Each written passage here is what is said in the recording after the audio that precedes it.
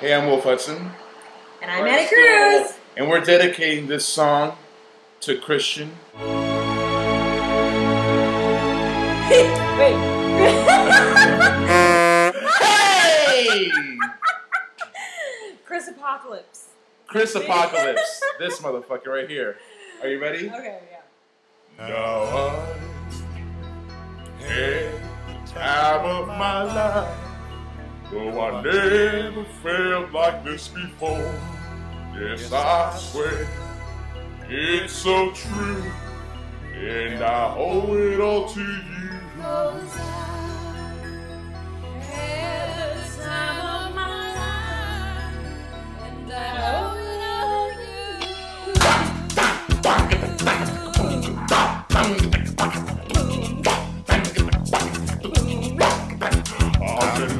For so long, now my body knows someone to say my name.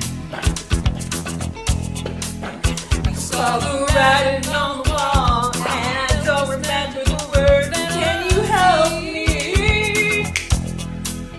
Now what?